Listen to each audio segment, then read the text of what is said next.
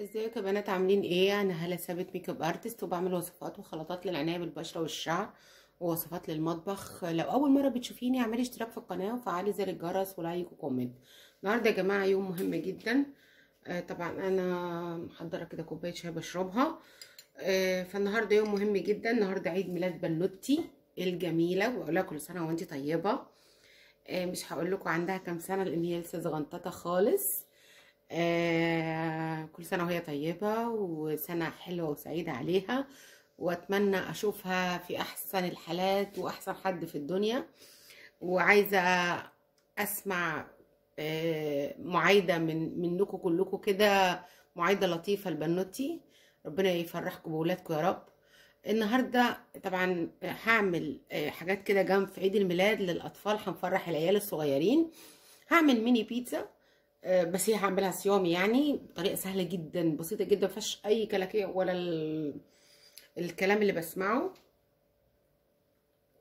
عندي آه بشرب الشاي ها؟ خليكم معايا.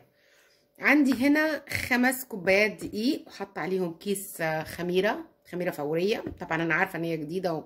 يعني اللي شاكك يحطها في شوية مية دافيين يعرف إذا كانت فيها مشكلة أو حاجة. عندي هنا خمس كوبايات دقيق عليهم كيس آه كيس آه خميرة فورية. عندي هنا معلقة سكر رشة ملح معلقة زعتر. وعندي هنا آه تقريبا معلقتين زيت آه زيت زيتون. وعندي هنا كوبايتين آه مية دافيين. طبعا كل دقيق وليه النوعية بتاعته. في دقيق آه بياخد وفي دقيق ما بياخدش المية كلها. فإحنا طبعا هننزل المية بالراحة. أول حاجة بنزل كل المكونات الجافة بالشكل ده. طبعا أنا هعجن على فكرة بإيديا يا جماعة. مفيش مشكلة خالص. بالشكل ده. تمام. فرحوني بقى بلايكاتكم يا جماعة. النهارده عيد ميلاد بنتي يعني. عايزة عايزة فرحة كده تدخل القلب. كل سنة وأنت طيبة قلب مامي. تمام؟ كده هبدأ أحط معلقتين الزيت بالشكل ده.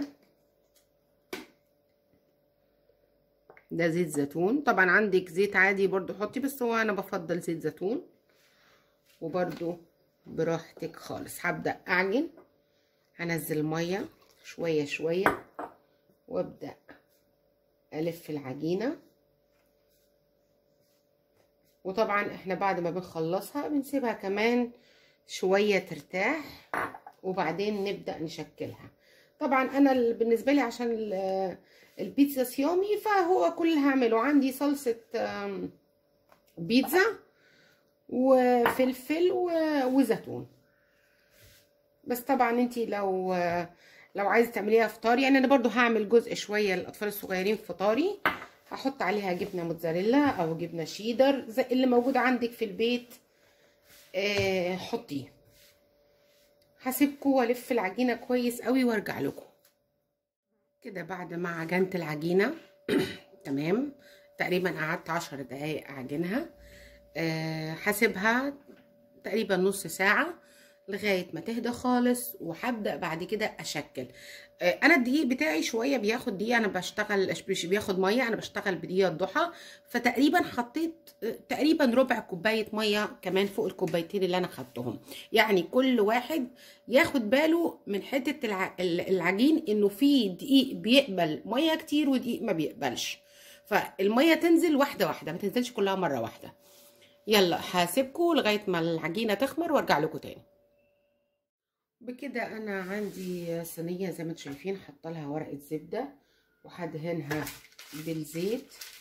تمام؟ أنا تقريبا عدى على العجينة تقريبا 45 دقيقة أو ساعة إلا ربع. وزي ما أنتم شايفين حجم العجينة الضعف قد كده. هبدأ أقطع فيها. تمام؟ وأقسمها بالشكل ده. طبعا عشان ميني بيتزا فمش هتبقى كبيرة قوي زي ما أنتم شايفين كده. هبدأ أعملها زي البرتقانة الصغيرة. وطبعا بعد ما بقطع الكمية اللي أنا بتاعتي اللي موجودة بسيبها تقريبا عشر دقايق ترتاح وأبدأ أقول لكم هنعمل فيها إيه طبعا أنا ببعد المسافات لإنه إيه طبعا لسه هطبطبها وأحط ال الحاجات اللي إحنا هنحطها اللي هي صلصة البيتزا وفلفل فلفل وزيتون والحاجات بتاعتها. فزي ما أنتم شايفين هخلص الكمية كلها وأرجع لكم. زي ما أنتم شايفين أنا كده قسمتهم. طلعوا معايا 17 واحدة. ما شاء الله يعني كيلو عمل معايا 17 وحده بيتزا اللي هي الميني بيتزا. هسيبهم تقريبا 10 دقائق أو ربع ساعة يرتاحوا وبعدين هقول لكم نعمل إيه علشان ندخل الفرن. بس طبعا في تركات مهمة جدا الأول هنعملها وبعد كده ندخل الفرن. خليكم معايا اوعوا تروحوا أي حتة تانية. كده بعد ما سبت العجينة ترتاح تقريبا عشر دقايق. طبعا محضرة هنا زيتون فلفل زيتون سوري أخضر وأسود. عندي فلفل أخضر. عندي دي الصلصة بتاعه البيتزا. هبقى أنزل لكم الطريقة بتاعتها في صندوق الوصف. عندي هنا معلقة زيت وهقول لكم هنعمل بيها إيه. وعندي هنا حبة البركة. وعندي جبنة شيدر وفلامنك يعني مع, مع بعض. حابة أقول لكم على تركيه مهمة قوي لما نيجي نحاول نطبطب دي. أنا طبعا مش عايزة أطبطبها كده بصوابعي فهروح. هحطها كده وعندي ده طبق فنجان عادي خالص. هبدأ أنزل بيها بالطبق ده كده. تمام؟ زي ما حضراتكم شايفين. وهبدأ أطبطب بالراحة قوي زي ما أنتم شايفين. سهلة فكرة سهلة جدا مش متعبة خالص وهتعجبك جدا. نعمل واحدة كمان. بالشكل ده. وأبدأ أطبطب بالراحة قوي. كده. ولو حابة تخليها على الناحية التانية برضو براحتك اللي يعجبك. هخلص الكمية كلها وأرجع لكم. كده أنا بعد ما خلصت الكمية كلها يا جماعة زي ما أنتم شايفين كل الكمية. طبعا أنا كان ممكن أقول لك هاتي في اسطمبات معينة عشان تعملي الحاجات دي بس أنا بقول لك اللي في إيدك تقدري تعمليه اعمليه. يعني في عندنا مثل في مصر بيقول الشطرة تغزل برجل سوري أنا آسفة برجل حمار يعني أي حاجة في إيدك أي حاجة تقدري تستفادي بيها. مش لازم تكلفي نفسك تكاليف كبيرة قوي بأقل الإمكانيات ممكن تعملي أحلى من بره. تمام؟ دلوقتي هنبدأ اوريلكم هنعمل في البيتزا كده. هاخد شوية صلصة وأبدأ كم يعني أفردها على البيتزا. طبعا أنا سوري أنا آسفة إن أنا ما صورتش الصلصة بس هصورها لكم في مرة كده وأنزلها لكم. هنزل لكم الطريقة في صندوق الوصف. تمام؟ الشكل اللي إحنا جاي. بالنسبة للخضار يا جماعة ممكن تحطي أي خضار حبة. ممكن تعملي ترانشات بصل جوليان تحطيها. ممكن مشروم. ممكن كذا حاجة ممكن تحطيها اللي تلاقيه ولادك بيحبوه وهتفرحي اللي حواليكي بيه اعمليه. هخلص الكمية كلها وارجع لكم تاني. كده زي ما أنتم شايفين أنا خلاص وزعت الصلصة على على البيتزا كلها تقريبا. تمام؟ هبدأ دلوقتي أحط الخضار بتاعي.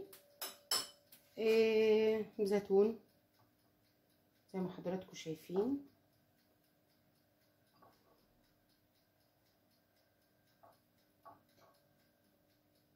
هعمل صينية واحدة بس عشان اوريكم عشان ما أخدش من وقتكم كتير. وفلفل زي ما أنتم شايفين كده. كميات مش كبيرة بس بتعلي التست حلو قوي. طبعا إحنا قلنا هنعمل صينية كده بالجبنة. زي ما حضراتكم شايفين شايفين يعني مش عايزة أقول لكم الطعم طبعا مش هوصفه لكم لأن أنا بعملها كتير وعارفة قد إيه بتطلع حلوة قوي. تمام؟ يمكن أنا بعملها كمان عملاقة قوي فخليكم معايا لغاية ما أخلص الكمية كلها وأقول لكم هنعمل إيه. هي دي الصينية اللي هنخليها بالجبنة. هنحط شوية جبنة على كل آه واحدة وهدخلها الفرن. وهرجع اوريكم شكلها عامل إزاي. خليكم معايا. هخلص باقي الكمية اوريكم شكلها بعد ما تخرج من الفرن. وكده يا بنات بعد ما البيتزا بتاعتي طلعت من الفرن دي اللي حطينا عليها الجبنة اللي قلنا هن فطاري ودي الصيامي. مش عايزة أقول لكم تحفة تحفة تحفة. لازم تجربوا الطريقة بتاعتي. طريقة سهلة جدا وبسيطة جدا وهتفرح الولاد. وكل سنة وانت طيبة يا قلب مامي.